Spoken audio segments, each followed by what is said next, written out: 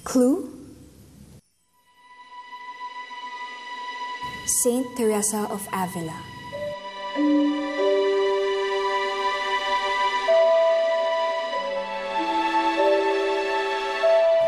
What's next, G? Ang hirap naman isipin ng clue mo. Dapat ba may plan B ako?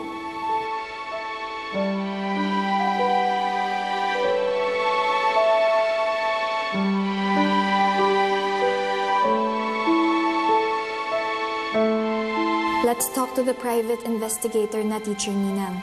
This week.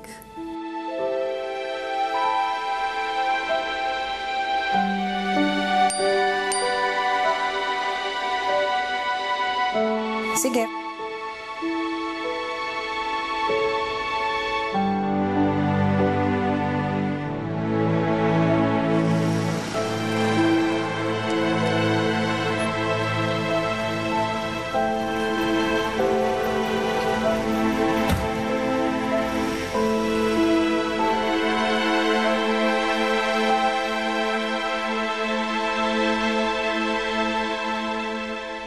Wow, Santi. Ang malas-malas naman natin sa kotse.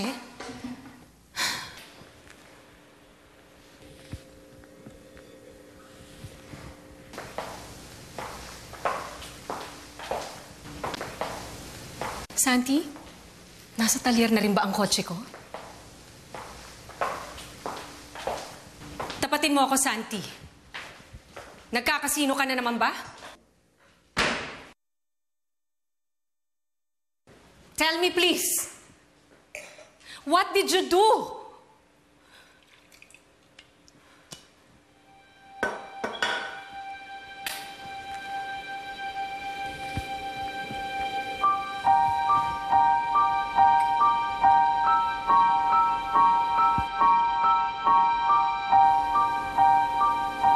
Yes.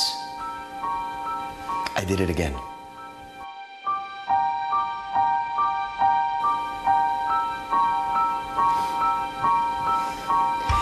Sunod-sunod yung panalo ko sa casino. I even bought you a gift, remember? Pero sino ba naman mag-aakala? Natatamaan din ako ng kamalasan.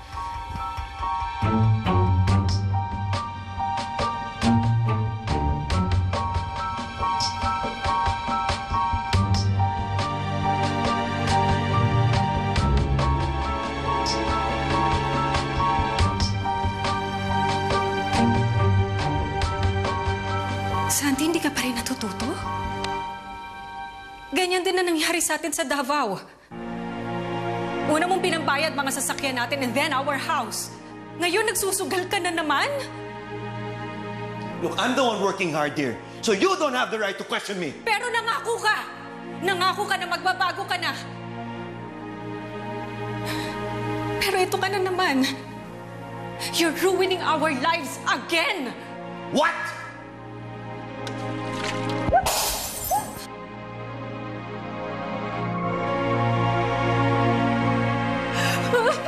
Did you say? Ha? I'm ruining your life again? Kung makapagsalita ka, akala mo ako na may kasalanan na!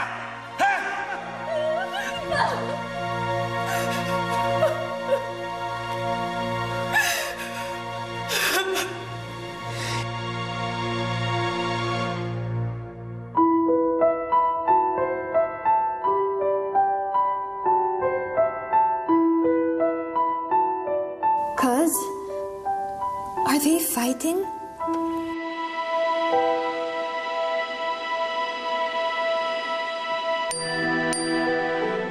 Don't worry, cuz. Masanay ka na. Sleep again na lang. Night.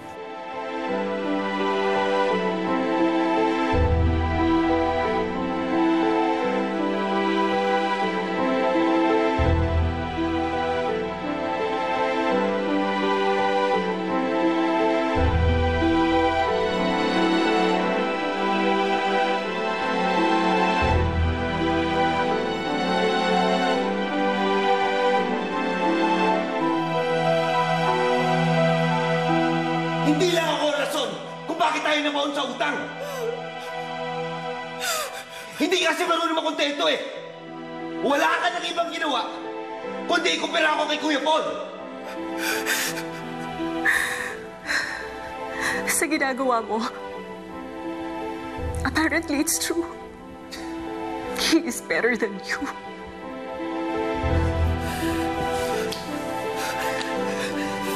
Kung di dahil sa akin, baka nabubulok ka pa rin sa kulungan ngayon. Lucy, I did everything to save you. Sinugal ko pangalan ko, nangutang ko sa iba, just for you! Pero hindi mo nakikita yon.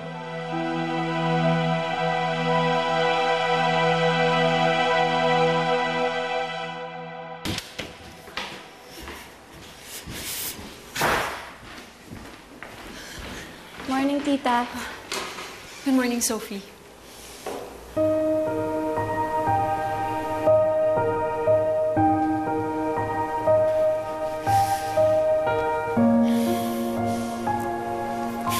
Halika, kumain na tayo ng breakfast. Okay? Let's go.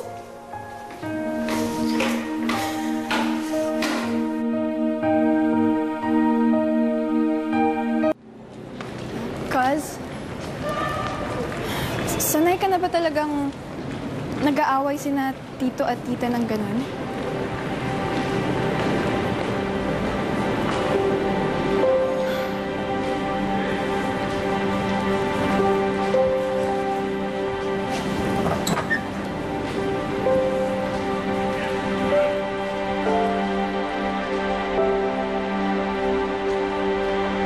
Everything is going to be okay. Diba, G?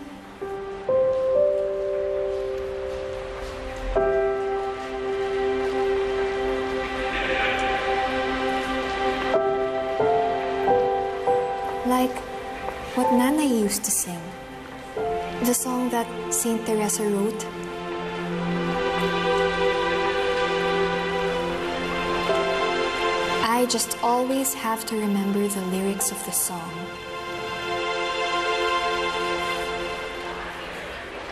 Na hindi ako dapat matakot.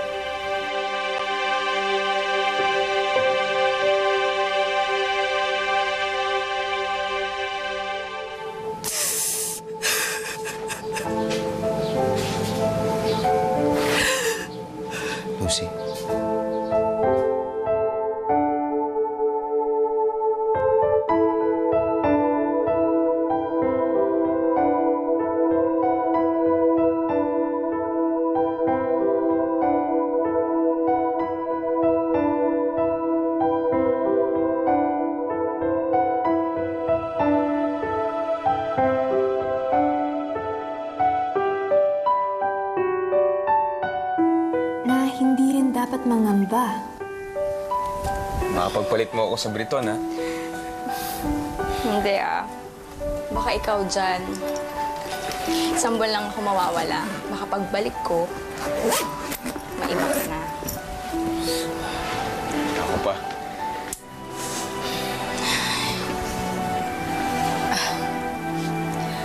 Narealize ko, anhin ko naman yung magarbong kasal.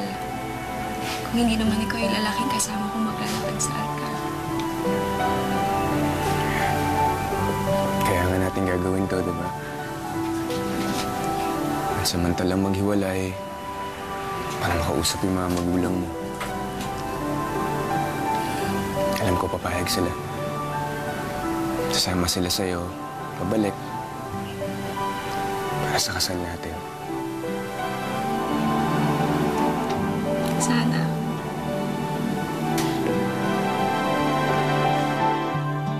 Dahil lahat ng bagay lumilipas. This too, Good evening. Good evening. my journey in finding Anne Reyes shall pass. Kung may kailangan po kayo, dito niyo ako makukontak. Mahahanap ko rin siya eventually. Si Anne Reyes. Please help us find her. Okay.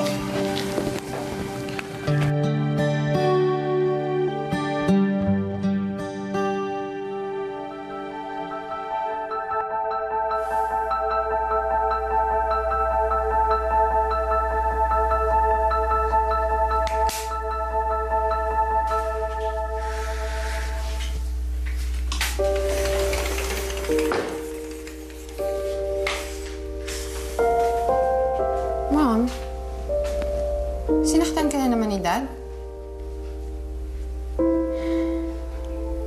Mahalin, nasan si Sophie? Hindi mo kasabay umuwi? Don't know. Well, kasama niya si Mrs. Luna. Kinausap ka ba ni Sophie about last night? Sinabi ko lang sa kanya na masanay na siya.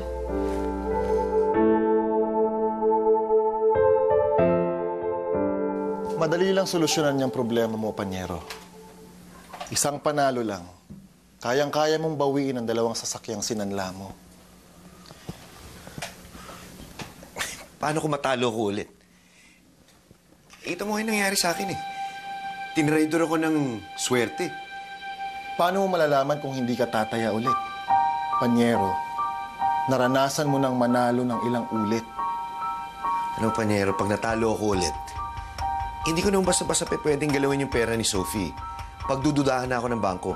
Huwag mo kasing isipin na matatalo ka ulit. If and only if na matalo ka. Well, I'm sure may ibang property si Sophie na pwede mong hiramin at isanla for the meantime. Pero hindi mangyayari yun, Panyero. Kasi we play to win, right? Besides, it's poker. Kung mababa ang cards mo, you can always bluff.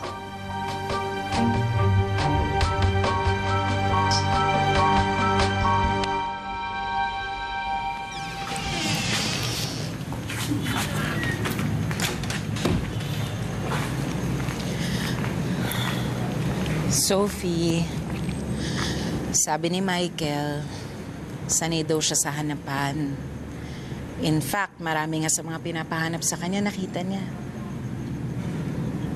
Hopefully, Teacher Ninang, mahanap natin si Anne Reyes, no? Ano ka ba, Sophie? Be positive. Alam ba ng tito at tita mo na pinapahanap mo si Ann Reyes? Hindi ko na lang sinabi, Teacher Ninang. Besides, ayaw naman ni Tito na hanapin ko si Anne Reyes eh. Siguro may iba silang mga dapat asikasuhin at problemahin.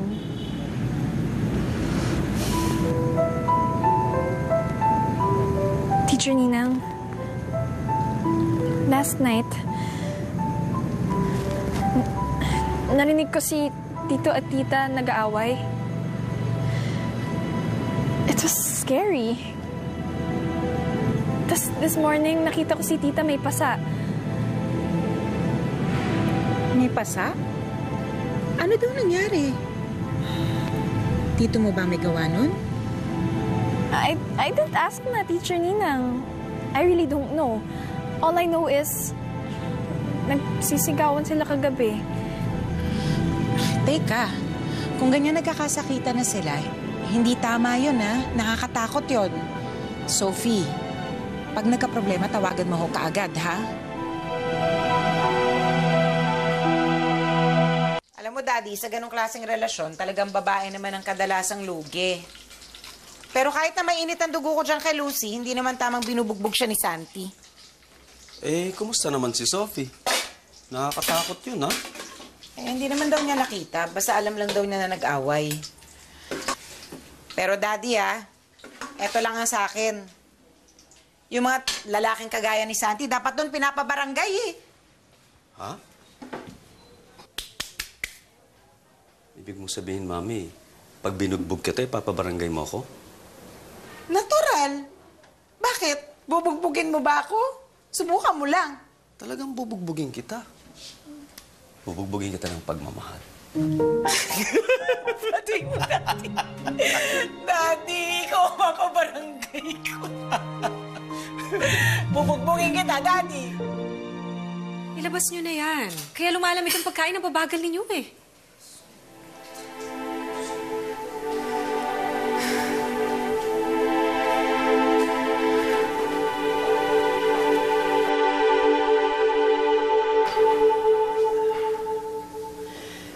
Sabi sa flower shop, ang white tulip daw means forgiveness.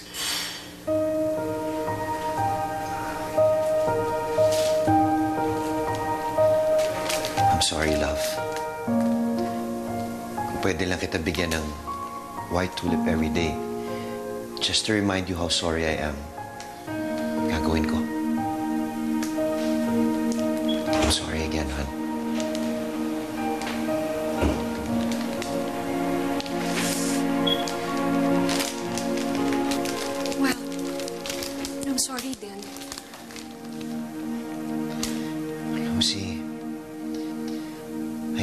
Tutuparin ko yung promise ko sa'yo. I'm trying to give you the life that you want and deserve. Thank you, love. I love the tulips. They're beautiful. Sorry again.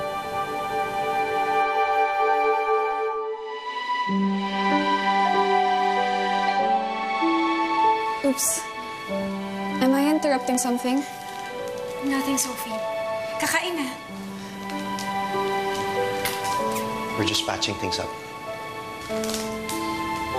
That's good to hear. Uh, Sophie, sorry. About, about last night. Yung, alam mo, yung away namin. I hope you understand. Uh, normal lang naman siguro yung mag-asawa na nag-aaway paminsan-minsan.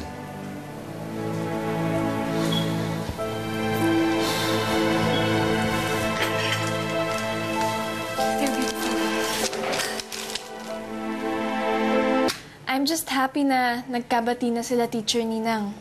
Happy ending for them. Hopefully, hindi na sila mag-away ulit. Anyway, bye Teacher Ninang. I'm still looking for clues sa mga old stuff ni nanay at tatay about Anne Reyes. Baka makatulong kay Michael. Bye!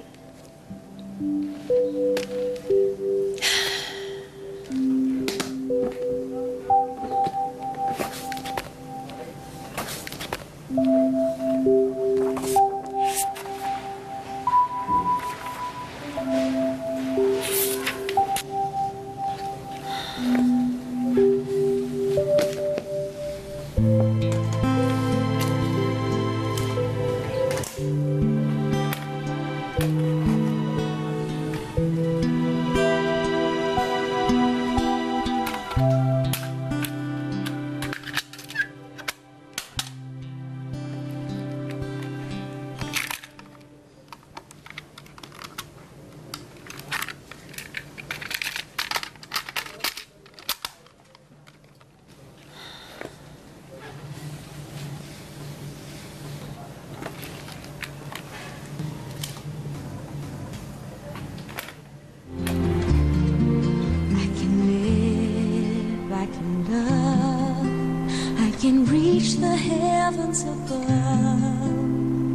right what is wrong.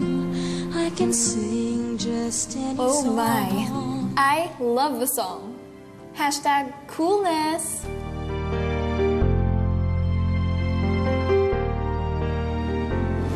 Dapat pumunta tayo sa Dubo ng Go pa. Wait, para sa iba yung box of chocks na yun, girl? Oh my God! Oh, Uy, feeling ko... Wait, maganda ba ako? Yeah, yeah. Sobra. Picture niyo kami ah, pag binigay niya yung chocolate. Always ready. Cyrus. Hindi ka natin kay Sure. Naks naman. Siguro, bibigay mo yan sa crush mo, no? Jaran, jaran, jaran, jaran, jaran, jaran. Kapag tumibok puso. Hoy, huwag nga kayo. Grabe. Uy! Allegiance. Uy, palabas na siya, palabas na siya. My God. Thanks, Harry!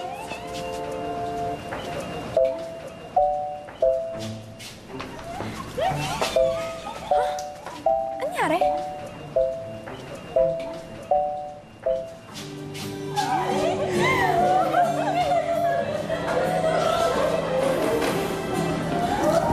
There, Sophie. Hey! Why are you here? Rocky wants me to give you this. Thanks daw, sabi ni Rocky. Aw, sweet naman ni Tita Raki. But wait, you call your mom Raki? Ah, sorry. Thanks daw, sabi ni Mom. Better. And thanks din nga pala. For what?